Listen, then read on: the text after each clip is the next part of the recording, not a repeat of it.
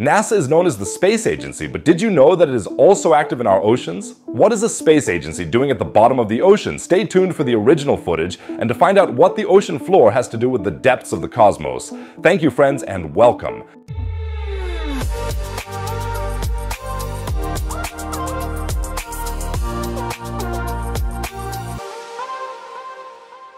What do the ocean and outer space have in common? At first glance, not much, but although the two places could not be more different, they do have a few things in common. Both are cold and dark places where we humans cannot breathe and where the pressure can become so high that we are simply crushed. In both places we can float, we are virtually weightless and just drift along, and both places contain unsolved mysteries.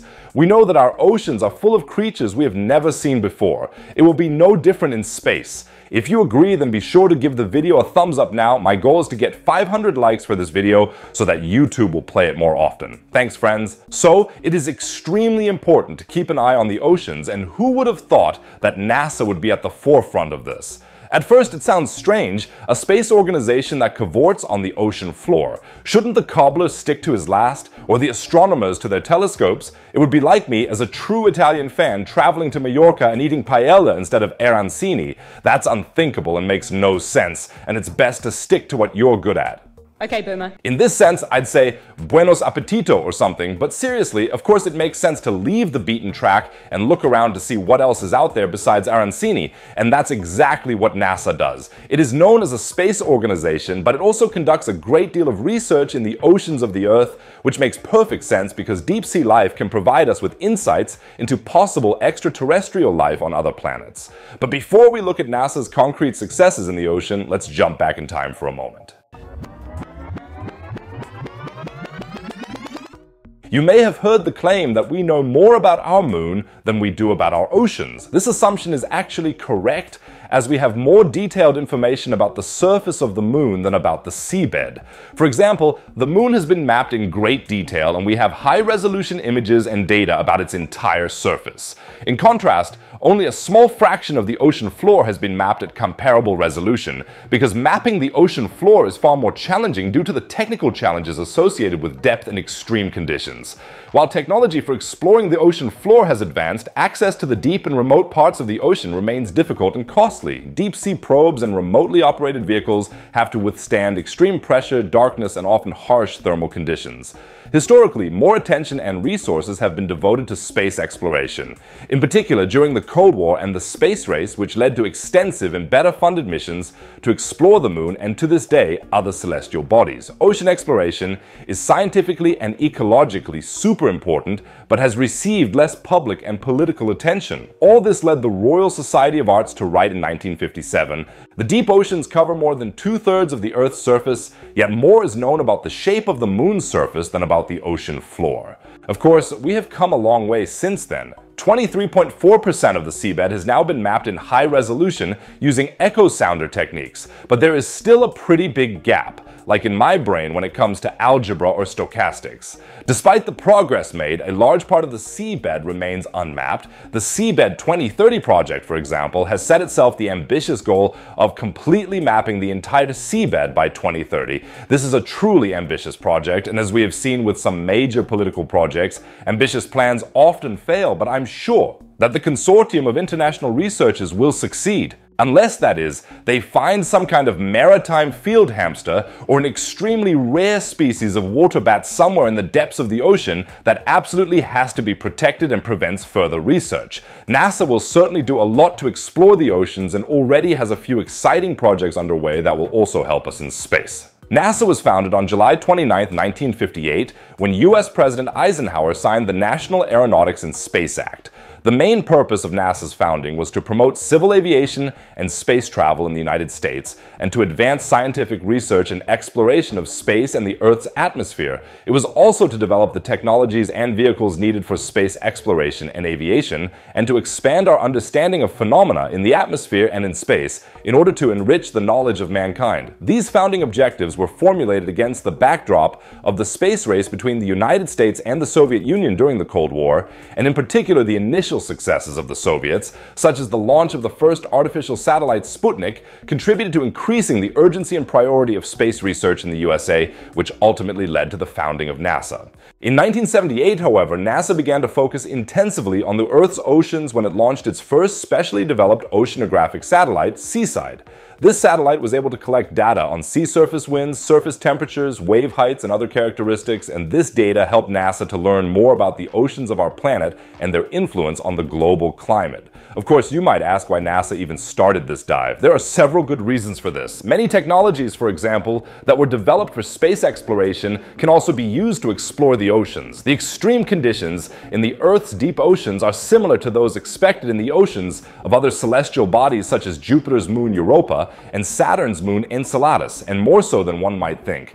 By exploring the Earth's oceans, NASA can develop and test technologies and methods that will be required for future extraterrestrial missions. In addition to the Seasat satellite, NASA is also involved in numerous other projects to explore the oceans. For example, the NEEMO missions at the Aquarius Reef Base off the coast of Florida house astronauts in an underwater research laboratory where they work in a simulated underwater space environment to prepare for future space missions. The Aquarius Reef Base is the only permanently manned underwater research facility in the world. It is located about 19 meters below sea level and consists of living and working units. The cramped and isolated conditions are similar to those on the ISS, the International Space Station, and offer optimal training opportunities. Leave me a comment and let me know if you would dare to work under these conditions for several days. Well, I have to admit that I wouldn't necessarily swap my studio here in the basement of the planetarium for such cramped conditions, especially since there's definitely no pizza there, although pizza frutti di mare would actually go down quite well. But of course, for astronauts, it's an important training on the way to space. So far, there have been 23 NEEMO missions, during which astronauts have worked together underwater for up to three weeks and even had the opportunity to put on deep sea diving suits and get an idea of what spacewalks in space might be like. Research in the ocean can therefore advance space research in many ways. Scientists can develop more technologies and methods that can be used for similar conditions in space. Deep sea drones, for example, autonomous underwater vehicles that have to withstand extreme pressure and temperature differences, can be directly transferred to the development of robots that can then be used in the oceans of icy moons such as Europa or Enceladus. These technologies have to work autonomously, as radio communication is very limited at great depths and over long distances. Who knows, maybe autonomous systems will soon be swimming around in the subglacial oceans of Enceladus, looking for small marine field hamsters. It is also of great importance to study extreme life forms on Earth.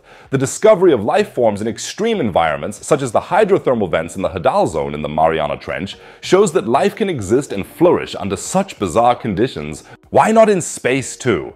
These findings expand our understanding of where and how life could exist in the universe where conditions similar to those on Europa and Enceladus could prevail, for example, as both have liquid oceans under their ice crust. On Europa, this ocean is located under a 10 to 30 kilometer thick layer of ice, while on Enceladus geysers that eject water vapor and ice particles into space have been detected.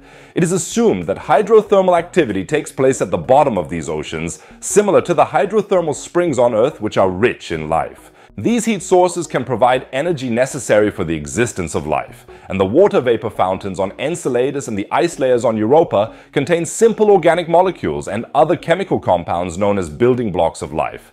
These molecules could form more complex organic compounds under the right conditions, perhaps life. All of this sounds very promising, which is why NASA is launching the Europa Clipper mission in October of this year to investigate the potential habitability of the moon Europa. I will be live streaming the launch at the beginning of October, which will be an absolutely historic event. If you don't want to miss out on such news, then subscribe to my channel now because then you will get a notification and help me immensely. So subscribe and activate the bell. Thank you, friends. With this mission, scientists want to find out whether the conditions on Europa can support life as we know it. In 20 2030, the spacecraft will reach Jupiter and be able to carry out numerous tests on site. Europa Clipper will be equipped with a variety of scientific instruments, including cameras and spectrometers, to enable the surface to be imaged and analyzed in high resolution. There will be radar equipment to study the ice layer and the water below it, as well as thermal instruments to measure temperature differences and identify potential hydrothermal activity. Much of this has already been tested by NASA in the oceans and is now being applied in space. And that's just the beginning. Imagine that we will soon be able to send cryobots to Europa that can autonomously eat their way through the ice cap and dive thousands of meters into the ocean.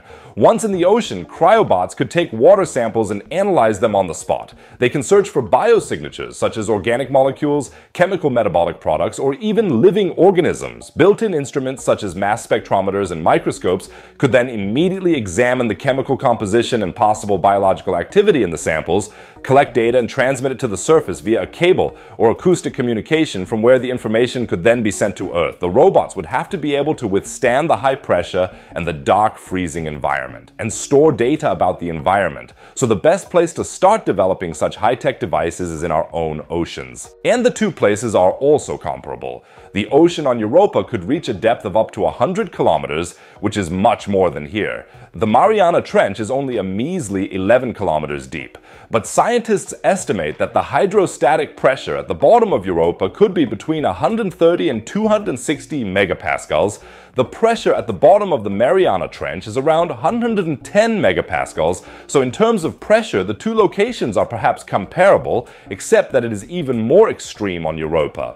In any case, both places require robust technologies that need to be researched. For example, there is the Deep Sea Submarine Limiting Factor, which can dive deep into the Mariana Trench and withstand depths of over 10,900 meters. That's not enough for Europe, but the researchers still have a little time to develop a suitable interplanetary submarine. In the Valkyrie project, which stands for Very Deep Autonomous Laser-Powered Kilowatt Yo-Yoing Class Robotic Ice Explorer, I love short and clear research projects, scientists are already researching the feasibility of a laser-powered cryobot that would be able to melt through the ice layer on Europa to explore the ocean. The Valkyrie bot uses a high-power laser operated by an autonomous rover on the surface, and in the IceFin project, researchers are testing a small torpedo-shaped robot that can drill through ice layers and dive into the subglacial ocean. It has already been tested in Antarctica to test the technology that could one day be used on Europa, so it will be a while before we get there.